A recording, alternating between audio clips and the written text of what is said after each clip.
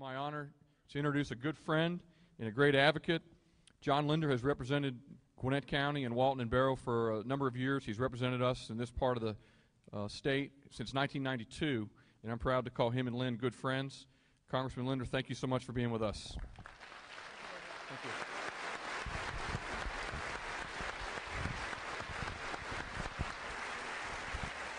How's this sound? Okay. We're going to have a few words just to open it up and then take as many questions as we can get through because we came to hear you tonight. We came to learn from you and listen to your views on this. I'm one who's come to the end of this August recess with the notion that health care is not the reason for everybody's concern. It is. It is just the most close and personal and reachable thing to do, express yourself on. Because when I've been all over this district during August, people are concerned about we own banks, we own car companies. We're spending $787 billion not on infrastructure, 5% is on infrastructure. Most of that's expanding welfare. Trust me. I'm on that committee. And we think the American people just sat back and said, whoa, this is going too much, too fast.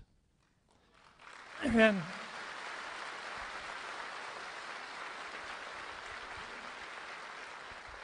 and healthcare became the easiest thing to personalize and to react to and to talk about. And so we're here to talk about healthcare tonight and anything else you might want to raise.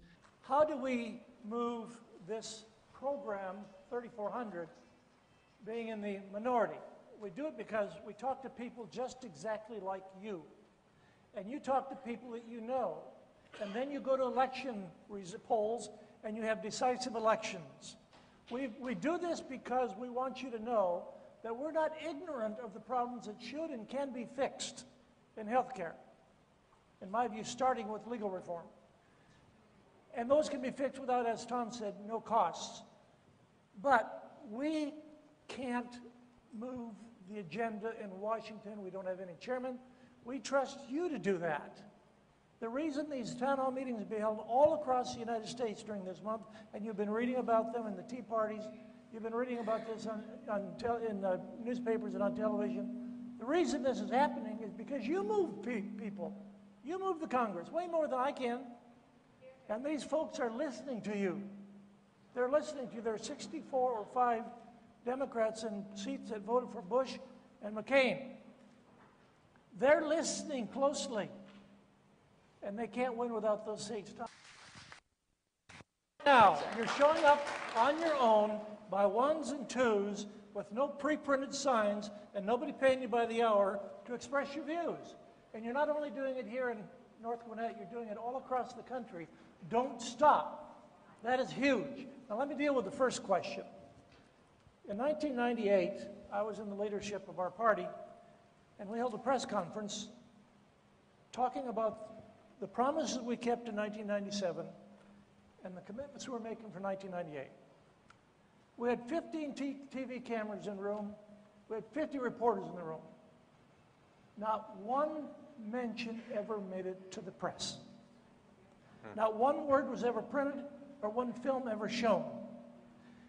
in July, 134 of us went to the floor on one day during the one minute period and spoke on jobs and health care and a pretty coordinated statement. It took three and a half hours to get through the one minute period. And the only mention of it was made when they headlined Steny Hoyer, the majority leader, for chastising us, chastising us for taking up too much time. Two weeks later, we went with 140 plus people to the floor of the House to talk about health care. Trust me, we are talking about this all over the country. And if you're not hearing about it, that's not our fault. We're gonna, we get our message across on the internet and in groups like this, but the media will ignore us because we're not talking the message. In the 70s, I voted for a program in Georgia called risk pooling. Providing a pool for people who have members of their family that get turned down by insurance companies. We've never funded it. If you get rid of all the flack about the 46, 47, 50 million people, about a fourth of them are eligible right now for Medicaid and S-CHIP and just haven't bothered to sign up. I don't care about them. About a fourth of them between the ages of 16 and 34 and get very cheap insurance. A significant number live in families that make $75,000 a year. I don't care if they don't want to buy insurance. I care about those 6 to 10 million people who are being turned down. We should have the federal government, the state government contribute to the risk pools. It would be a very large pool in 50 states. And we should turn to the insurance companies. I was making this case several years ago to the CEO of a major insurance company, and he said, Send me a bill. I'll pay it. I make money in Georgia. We should find a way to fund the risk pools for those 6 to 10 million people who are chronically uninsured. And for those people who have an opportunity and are just too lazy or cheap to do it, we should let them shift for themselves. Let me go back to the first, one of the first questions about the mandates, the state mandates, and, and buying insurance across state lines. And I participated in this gleefully when I was in state legislature 30 years ago. We voted to make sure that if you're going to sell insurance in Georgia, you had to include pap, uh, pap smears, mammograms, and, and prostate screens. And we thought we were delivering something to our constituents. We were delivering them higher premiums. Each of us owns homeowners insurance. I pray to God never have to use mine. And if it had to include fixing broken windows and changing light bulbs, I couldn't afford it. the notion that politicians know more about this than the doctors and the patients is just nuts. And my mother, before she died, had to buy a supplemental insurance policy for her Medicare in a state where she had to pay for hair transplants. She didn't want one. so we need to get beyond these mandates. We need to get beyond politicians' decisions that we can help you and deliver you something. How would you like to have auto insurance that paid for oil changes? This is nuts. Let me add to that the putting a ceiling on $250,000 on non-economic losses doesn't limit recoveries. Correct. They can get 100% of their costs and their losses through economic damages, loss of earning power, et cetera. Any, any healthcare, any healthcare costs. But what the $250,000 cap does is it, it tells the lawyer, you're going to get about half of that. Is it worth your time? 90 plus percent of the doctors that go to court win in front of a jury. But those things seldom go to court because of the cost it takes to go to court, and the insurance company settle and then just add to the bill. In 2003, as Tom suggested, Texas went to a limits on $250,000. Two things occurred. They've lowered their malpractice rates by 27% since then, but doctors have flooded into the state, including into some of the most underserved areas of the state, because they could practice real medicine. When doctors give you $10,000 worth of tests to discover that they thought they were right in the first place, you had a migraine, they could fix it with aspirin. They didn't do that to make money. They've got all kinds of people to turn to and treat. They did it because if they're only 95% correct on the migraine, they had to cover 100%, eliminate all the other risks, or they'd be sued. Mm-hmm. We think it's 100 to 200 billion dollars a year in medicine, practiced medicine, just to defend themselves. Now, uh, as for the person who said this is not a health care bill, I, I've said that very same thing a dozen times in the last three weeks. This is not about health care. It's not even about jobs. It's about control. But just imagine, we've got a $1.6 billion in the health. The three health bills came from three committees were very similar. They had modest changes. And the Energy and Commerce Committee, because it had eight blue dogs, conservative Democrats on it, accepted more amendments than any of the other committees did. And they'll sort that out. They're doing it this August probably. But they were very similar. And can you imagine how important it is to spend $1.6 billion for streetlights? And the health care bill. And to spend $9 billion to send a nurse into the home of first time parents and young parents to teach them how to parent. Well, that came through my subcommittee. We have $244 billion worth of money available at the state, federal, and local level for that very thing today. But the community thinks that other priorities are more important than teaching how to parent your kids, and they're not spending it that way, so the left says, force them to spend it. This is just control, and you're exactly right. You start with the, uh, this lady back here. What can we, what can you do? Is it too late? First of all, I'm, I'm, I'm going to tell you the president has the right to pick his advisors. And you can call them what you want to call them, um, czars or whatever, but he has a right to pick his top advisors. What worries me more than anything is he's picking people who, makes, who will make decisions he should be making. Now, we're not surprised at this, folks. I'm going to say that fourth of you at least voted for this guy.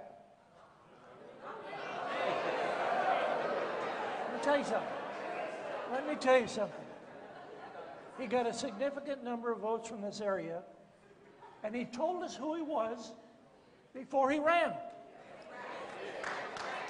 He said, when I went to college, I didn't select the, the same routine friends that you run into. I sought out as friends Marxist professors. He wrote this. Now, do we have time to change it? Curiously, the three bills in the House have a beginning date for taxation purposes in January of 2011, after the next election. And even more curiously, the treatment side of it, how you will join various org- uh, healthcare organizations, doesn't become mandated until January of 2013. Presidential election. You got lots of time. Tom and I have been talking about agenda here for the last six months. Tom is the chairman of the most conservative, largest group of Republicans in the, in the House.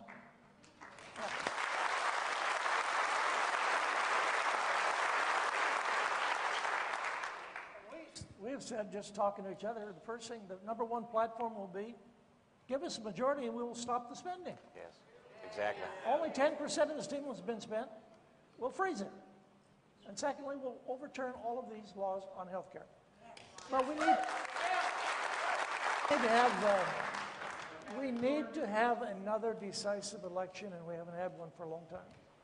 I don't care if you call it a public option, or a government option, or co-ops, or cornflakes.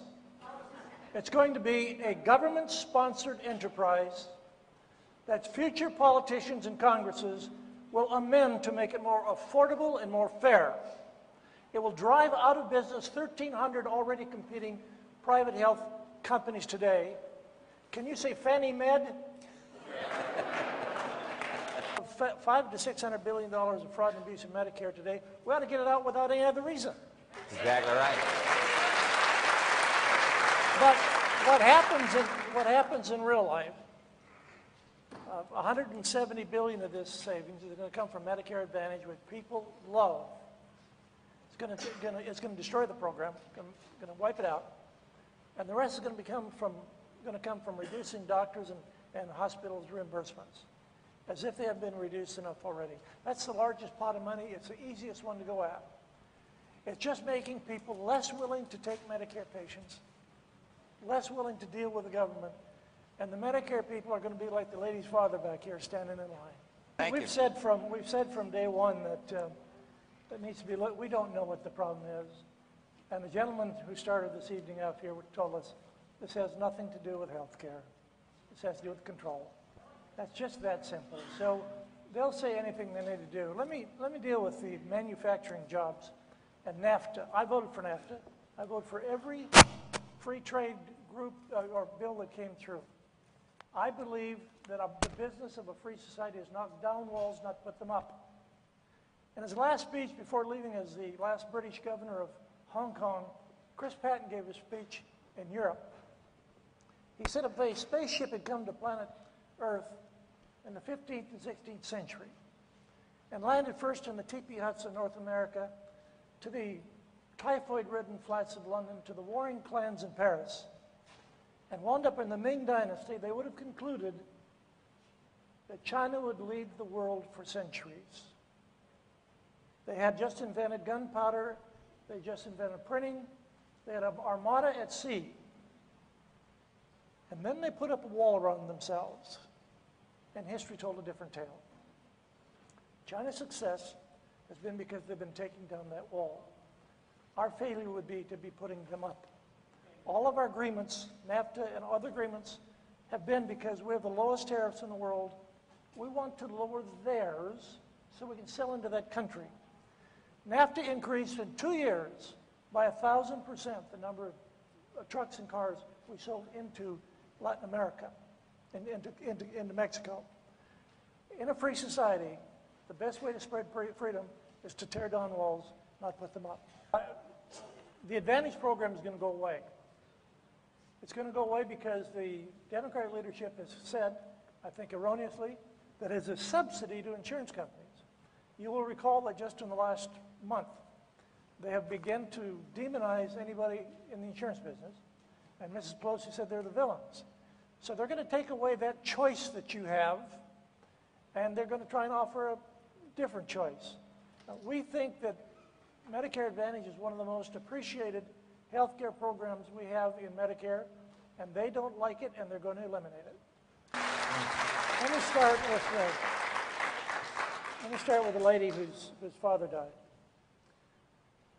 It is easy to say, and I had a doctor and his wife in my office two weeks ago, and his wife said, just stop the bickering and do the right thing. And I said, we have a totally different view as to what the right thing is. We want individual choices. They want government choices. There's no middle ground here as to your two sons. We want them to make these decisions. They're going to be, if we pass this stuff, they're going to be paying bills all their life. I want you to make these decisions because if you make a bad decision, it only hurts you. If we make it, it hurts 300 million people. And we want these decisions to be made as locally as possible.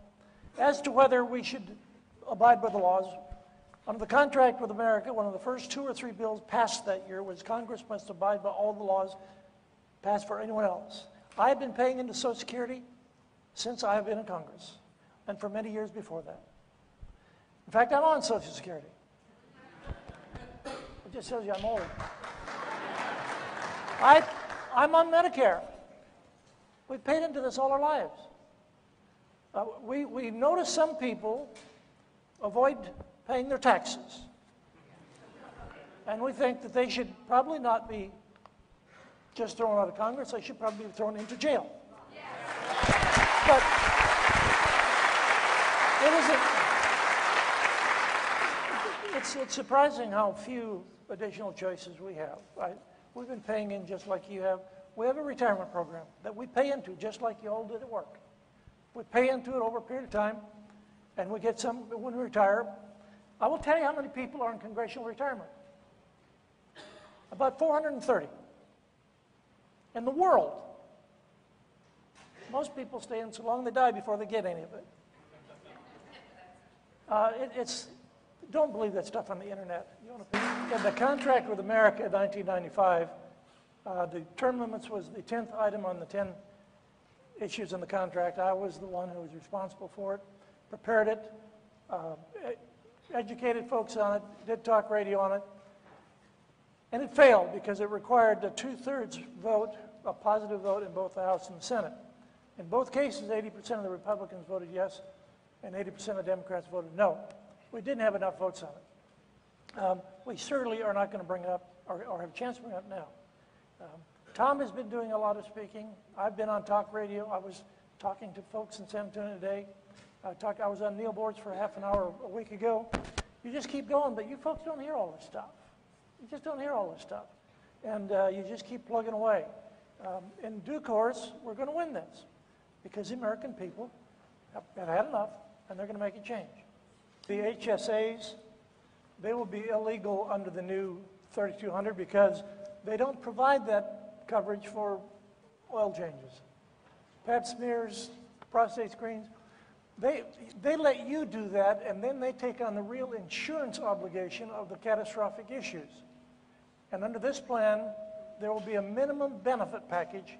And since they don't want to do that, they're not built that way, they'll be outlawed. If you have a private insurer that wants to stay outside of the government exchange and just keep his private group that likes their, their insurance company and they like them, uh, they'll, they'll be able to continue. Unfortunately, they won't be able to sign up any new people after 2013. And their pool will get older and sicker, and they'll be out of business. The whole purpose of this is to drive the insurance companies out of business. Mm-hmm. And we're- we trust, do you have a one minute close? Mm-hmm. Go ahead. Please. Um, well, I'm just, does anybody here remember Ronald Reagan? Um, nightfall was dark when he became president. We had 20% interest rates, 21% prime rates. We had 17% home mortgages. We had, we had 17% home mortgages, 20% interest rate, 14% inflation, 10% unemployment. And Ronald Reagan said, we can do this because we are Americans.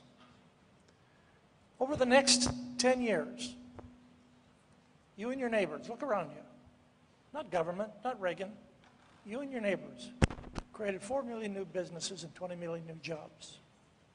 You increased your contributions to the government voluntarily from 519 billion in 1980 to over a trillion dollars in 1988.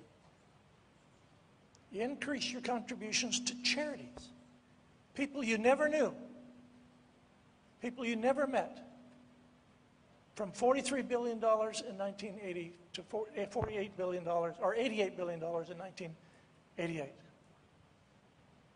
Now, I believe that was the American generation and the American century. I believe you weren't all cheating on your tax returns. I don't believe the 1980s was, was a decade of greed, as Ms. Clint said. I think she thought you were all tra- uh, trading cattle futures. Most of us weren't. Teaching school and coaching Little League and leading Boy Scouts and Girl Scouts. That is America, where ordinary people do extraordinary things.